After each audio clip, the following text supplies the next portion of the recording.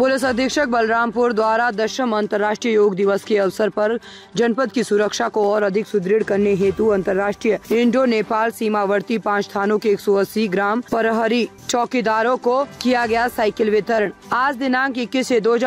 को पुलिस अधीक्षक बलरामपुर केशव कुमार के द्वारा दशम अंतर्राष्ट्रीय योग दिवस के अवसर पर जनपद की सुरक्षा और अधिक सुदृढ़ करने हेतु व ग्राम चौकीदारों के स्वास्थ्य को ध्यान में रखते हुए उनका मनोबल ऊँचा रखने हेतु जनपद बलरामपुर के भारत नेपाल के अंतर्राष्ट्रीय सीमावर्ती पाँच थानों के 180 ग्राम प्रहरी ग्राम चौकीदारों को साइकिल वितरित किया गया। पुलिस अधीक्षक केशव कुमार ने थाना हरेया 50 थाना तुलसीपुर 33 थाना को जरवा 25 थाना को गेसड़ी सत्ताईस व थाना पचपेड़वा 45 ग्राम प्रहरियों को अपने क्षेत्र में भ्रमणशील रहकर आपराधिक तत्वों पर सतर्क दृष्टि बनाए रखने हेतु उनकी सूचना तत्काल थाना स्थानीय को अवगत करवाने हेतु आवश्यक दिशा निर्देश दिए गए। इस अवसर पर अपर पुलिस अधीक्षक उत्तरी योगेश कुमार, क्षेत्राधिकारी तुलसीपुर राकेश कुमार सिंह व अन्य अधिकारी कर्मचारी गण मौजूद रहे। संवाददाता सूरज कुमार।